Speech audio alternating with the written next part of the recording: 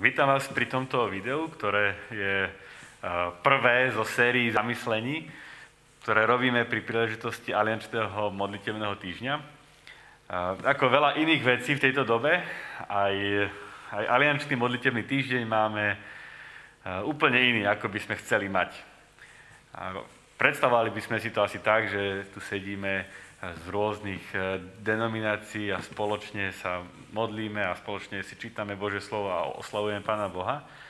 Ale pretože okolnosti nám to e, nedovolili, tak aspoň takto cez YouTube sa vám chceme e, prihovoriť spolu s bratom Farárom Marekom Ivanom z Evangelickej cirkvi a, a odozdať vám niekoľko posolstiev, ktoré sú na tému Ako byť zaujatý Bibliou.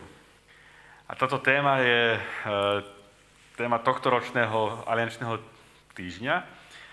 A, a ja hneď začnem tou prvou časťou. A tá prvá časť je, je, je pohľad na, na žálm 119. Je, tento žálm je jednou asi z najkrajších e, častí písma, ktoré hovoria o dôležitosti Biblie. A prečítam jeden odstavec e, z tohto žalmu. Žalm 119 eh, od 9. verša po 16. Ako si mladý človek zachová čistotu, keď sa bude držať tvojho slova? Celým srdcom som ťa hľadal, nedopusť, aby som odbočil od tvojich príkazov. V srdci som si skryl tvoju reč, aby som proti tebe nehrešil. Velebený buď hospodin, nauč ma svoje ustanovenia svojimi perami vymenúvam všetky výroky tvojich úst. Život podľa tvojich prikázaní ma teší viac než všetko bohatstvo. O tvojich rozkazoch rozímam, chcem mať na zreteli tvoje chodníky. V, tých, v tvojich ustanoveniach mám záľubu, na tvoje slovo nezabúdam. Tento 119. žalm je naozaj najdlhšou kapitolou Biblie má 176 veršov a v každom z nich, alebo skoro v každom z nich, sa spomína Boží zákon, Božia reč, Božie ustanovenia, Božie príkazy. A celý tento žálm je takou veľkou oslavou Boha za to, že k nám hovorí, že nám stá, dáva stále svoje slovo a že, a že k nám prehovára. A, a zdá sa, že, že, ten, že bol napísaný uh, v období, kedy Izrael sa dostal do, do babylonského zajatia a, bolo to obdobie ťažké pre, pre eh, izraelský ľud. Stratili svoje náboženské istoty. Boží ľud stratil svoje symboly, alebo symboly Božej prítomnosti, ktoré, ktoré mali. Prišli o chrám, prišli o, o možnosť obetovania v chráme a, a stratili aj takú istotu v tej, tej kráľovskej Davidovskej línii. Prišli o veci, ktoré držali ich vieru boli odvlečení do zajatia a, a tam získali niečo nové. Tam objavili písmo a objavili modlitbu. Alebo znovu objavili písmo. A objavili tam stratenú osobnú zbožnosť. Boží ľud potreboval túto lekciu, aby zažili obnovenie osobného vzťahu. A už sa vo svojej zbožnosti nemohli spoliehať na kňazov, sa vo svojej zbožnosti nemohli spoliehať na, na kráľov, ale obrátili sa, sa k písmu a, a k modlitbe. A tento žalm je napísaný po tomto, po tomto období. A, a myslím si, že, že my dneska sme sa aspoň čiastočne a aspoň dočasne ocitli v podobnej situácii. A na čas sme niečo stratili. Niečo, čo malo pomáhať našej viere, čo malo držať našu vieru. Nemôžeme sa spoločne stretávať ako, ako veriaci v kostoloch, v modlitebniach. Nemáme sviatosti. A, a toto obdobie je naozaj také zvláštne pre nás. Ale čo ak, čo ak toto obdobie môžeme využiť možno podobne, ako to využili tí Židia, ktorí ktorí sa ocitli v Babylone. Môžeme to obdobie aj premárniť, ale môžeme ho aj využiť. k tým obmedzeniam, ktorých sme sa, do ktorých sme sa ocitli, sa uh, môžeme pristúpiť dvoma cestami. Tá prvá cesta je, že, že budeme nedočkaví, budeme nervózni, budeme sa trápiť, kedy konečne otvoria kostoly, kedy konečne budem môcť byť v spoločenstve, lebo cítim, že moja viera slabne. Na druhej strane môžeme k tomu pristúpiť e, s lahostajnosťou. Možno až s takým falošným hrdinstvom, že si povieme, že, že ja vlastne nepotrebujem spoločenstvo, ja vlastne nepotrebujem církev, ja prežijem sám bez Boha. Ale čo ak je tu tretia možnosť, ktorá nás môže cez toto obdobie posunúť bližšie k Bohu, ale zároveň udržať náš hlad po spoločenstve. A tá tretia cesta je to, ako môžeme pristúpiť k tomu to času, v ktorom sme sa ocitli, týmto obmedzeniam stretávania. Tá tretia cesta je, že pristúpme k tomu ako ku nejakému typu pôstu.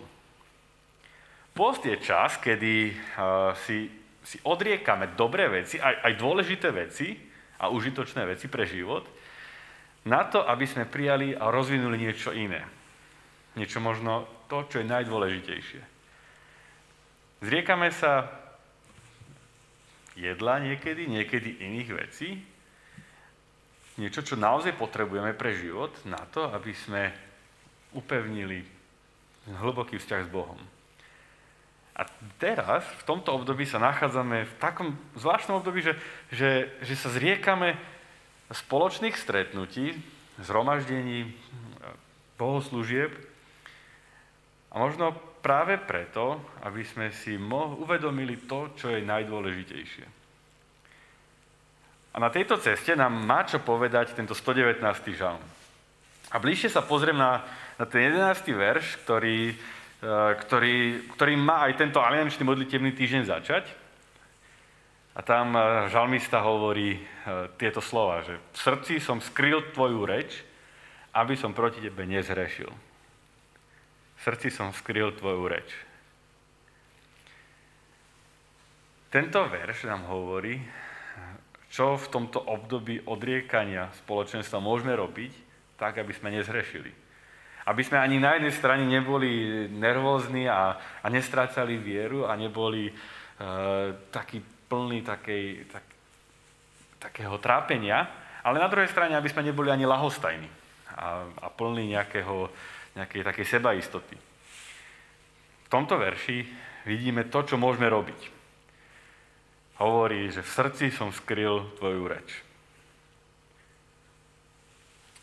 Toto slovo skrytie, skrytie Božej reči, hovorí o dvoch veciach. A to, pr- to prvé je, že, že čo to znamená skryť Božiu reč v našom srdci? Znamená to, že držať sa.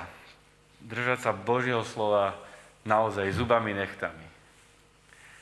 To druhé je, že to znamená nejak eh, skryť ako, ako zahaliť do, do nejakého rúška tajomstva. Ale najprv sa pozrieme na tú prvú vec.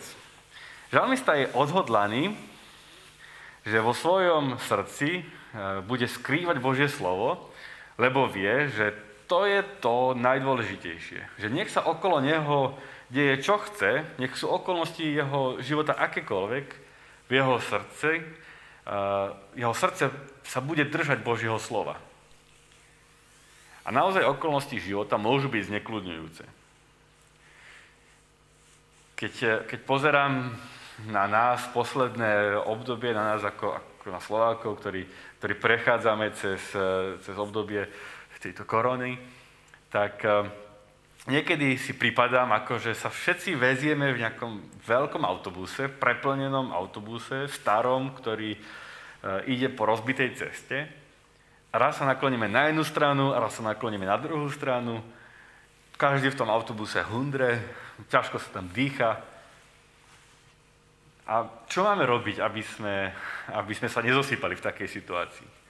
A keď, ste, keď stojíte v preplnenom autobuse, ktorý sa nakláňa na jednu a na druhú stranu, to jediné, čo môžete robiť, je poriadne sa držať. Ale o tom hovorí aj ten verš, že čo, čo robí ten žalmista? Skrýl Božiu reč. Poriadne sa Božieho slova drží.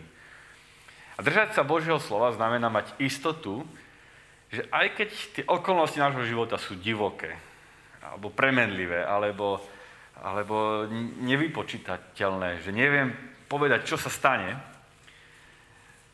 tak, eh, tak nespadnem, lebo v mojom srdci je niečo pevné, je niečo nemenné.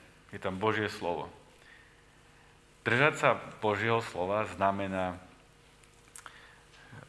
že nech sa deje okolo mňa čokoľvek, ja mám vnútri istotu niečoho nemenného.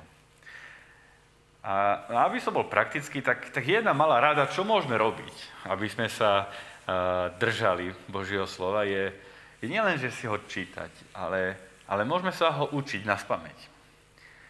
A keď nie už učiť na spameť, že sa, sa zdá, že to môže byť príliš také uh, detinské, že deti sa učia na spameť veci, tak uh, môžeme skúsiť uh, si, si čítať práve žalmy a možno práve tento 119. žalm, čítať ho a modliť sa ho. A tak sa bude dostávať do nášho srdca a zakoreňovať sa tam. Môžeme sa držať Božieho slova práve týmto žalmom, že budeme čítať, modliť sa ho a, a, a pretavovať ho, znútorňovať ho. Ten druhý význam, ktorý má tento verš, je ten, že to slovo skryť, skryť Božie slovo v srdci znamená, že ho na chvíľku zatajíme pred druhými. Že ho ukryjeme, tak aby ho in, nikto iný nevidel. Skryť Božie slovo v srdci je ako skryť poklad, ktorý, ktorý, ktorý som niekde získal. Predstavte si, že by ste získali nejaký veľmi vzácný poklad, niečo veľmi, niečo veľmi cenné, niečo drahé. A nechcete o to prísť a nechcete, aby sa o tom dozvedelo veľa ľudí. Tak čo spravíte? Tento svoj poklad na chvíľku skriete. Zakopete ho niekde, odložíte ho na čas, kým, kým ho nebudete potrebovať.